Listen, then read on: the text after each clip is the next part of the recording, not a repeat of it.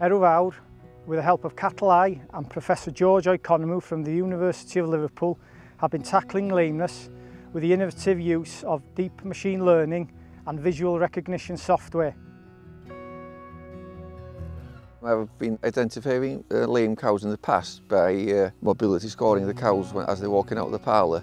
We take usually a milking a month, um, watching the cows walking out and we'd have a sheet um, and score them to between one and, one and three. It'd be a bit of a chore really to do it and we'd never be on time doing it. It was one of them things, one of them jobs that were really forced to do. But uh, we, we always thought there was, a, there was a benefit to it. We're trialling this cattle eye system out now and uh, it's taken the pressure off doing that job every, every month.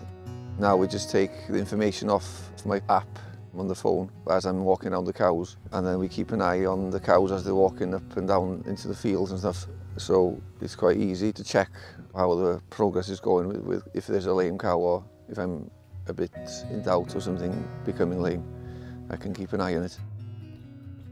Yeah, since using the system, we've got a list of cows that come up on my app with Cattle Eye and I can look at it whenever I want. There's a monthly graph on it and, and it shows how the performance of you know the foot trimmer is working and and I've got a list of cows so I can present to the foot trimmer every fortnight as he comes. George then and his team in Leahurst are monitoring what progress they're doing and keeping an eye on them as well so we've got a to-do list of cows every month, every fortnight now. The record keeping of, of my lame cows now, it's in the app in the phone and it's, it's there to be seen for the last 12 months or since we've been using it and there'll be a handy record to keep for my milk contract with Arla and farm assurance and all that. So we've got proof that we're doing it really. I suppose the background to, to the technology, farmers are, are under increasing pressure to produce more food to, to, to feed a growing population, but to do so more efficiently and without um, any extra emissions. So the far for the animals that they're farming have to become more efficient. On the other side of that as well, then we have a lot of negative publicity regarding animal welfare. Consumer confidence has been dented by anti-dairy marketing campaigns, focusing on how intensively farmed dairy cows suffer high lameness levels and as a result, consumers and therefore supermarkets are demanding a greater welfare standard from their farmers. So Eye was established in 2019 in response to these industry challenges and has been designed to monitor the welfare of farmed animals by taking footage from security cameras and providing insights that can be used to more efficiently manage and improve welfare standards. To achieve this, we pick up early signs of lameness and give farmers an opportunity to treat that lameness before it becomes chronic. Ultimately, early indication and treatment will help lower antibiotic usage in animals and increase the overall efficiency of dairy farms, whilst providing evidence to consumers and retailers that farmers are working to the highest level of stock management. So the Cattle Eye system is a very simple system in the sense that it's just a, a very basic CCTV camera that's mounted in, in, in the exit race of a milking parlour. So basically as the cows walk underneath that camera, the camera will scan the cow and then it will basically run our algorithm which will give it which will pick out key points on the cow and then be able to give us a, a, a mobility score. Um, so as the cow walks past underneath that camera every time, it'll automatically recognise that cow from the previous time. So we, we're able to build up a profile of how that cow is walking.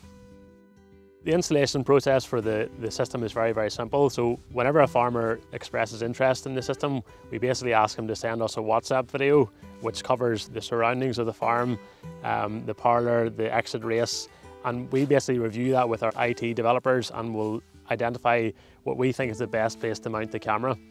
Now, the, camera itself is, is just a very basic CCTV camera, which all it needs to be done is connected up to the farm internet which can be done either by a company that we use or else you can do it with yourself or with a company you're familiar with. So basically, once that is done, we then ask the farmer to walk the cows past the camera and we then train the camera to recognise those cows. So the only, the only interference really that the farmer will have will be walking the cows past the camera and noting down the numbers of the cows. After that, everything else is automated. Research has shown that increasing cow efficiencies can reduce greenhouse gas emissions by up to 30% per litre of milk produced. We have worked out that we can take half a tonne of carbon per year out of the cow's carbon footprint by helping the farmer make better decisions to make that cow more efficient. This will also have a significant impact on the farm's overall profits as the cows remain in production for longer and veterinary costs are significantly reduced. The Cattle-Eye system can judge the cow's mobility on a daily basis using reference algorithms from thousands of cows linked to the system, whilst doing so silently and unbiasedly.